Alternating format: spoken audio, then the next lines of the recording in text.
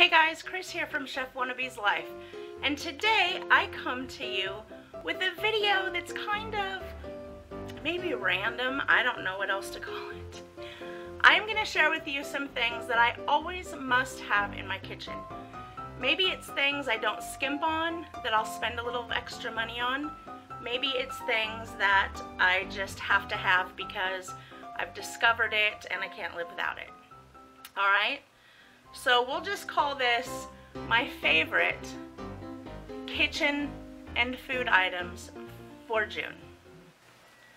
Alright guys, the first thing is these Vanity Fair napkins.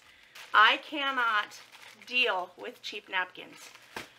When you're grubbing on some fried chicken, nobody needs to have napkins and grease stuck to their hands and you're peeling it off and you're trying to get it off and no, I I will not skimp on good napkins. I generally keep just for every day, most every day, I keep these on my table. I also just keep a roll of paper towels. And so this is one thing I must have in my kitchen and it is a favorite for June. The next thing I can't live without in my kitchen is, you ready for this? Shower caps.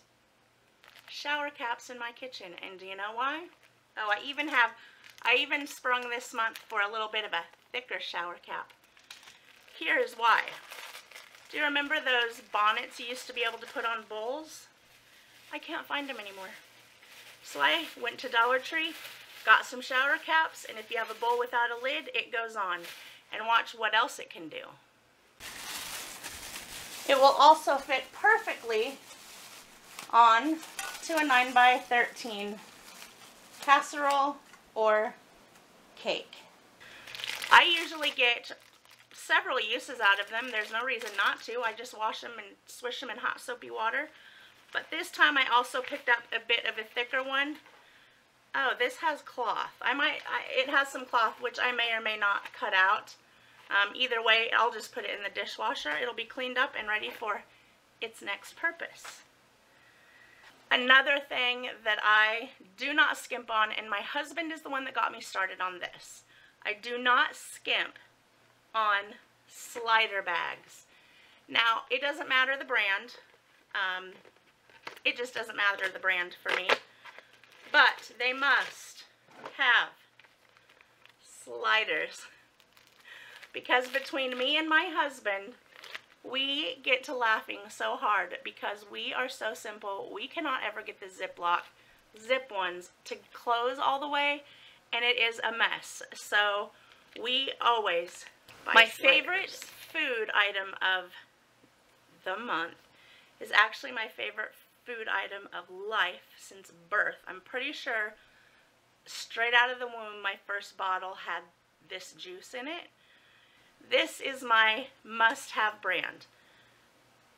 If you are one of my blogger friends or you've known me for a long time, um, I am often referred to as pickles.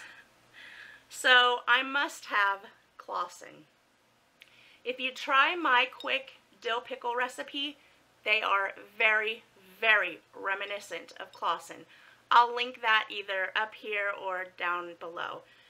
And so this is my food favorite of life, especially of June. I don't know what it's been this month. I have been like a mad woman going through pickles. And don't think that it just stops there.